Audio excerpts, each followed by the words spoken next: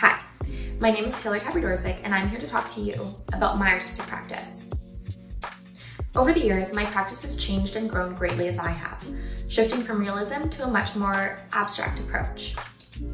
My current practice consists mainly of large-scale abstract paintings.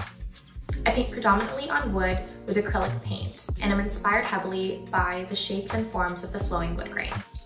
It has taken me a very long time to figure out why I paint how I do, and what drives my art. I used to use my art as a way to cope with the multiple brain traumas that I had.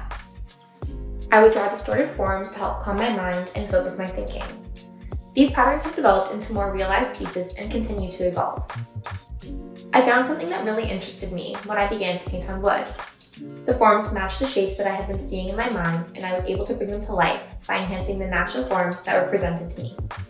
All of the works that you are seeing today are a culmination of years of practice, trial and error, and just trying to figure out what works for me. It has been a really long journey, but I'm glad that I went on it. Thank you.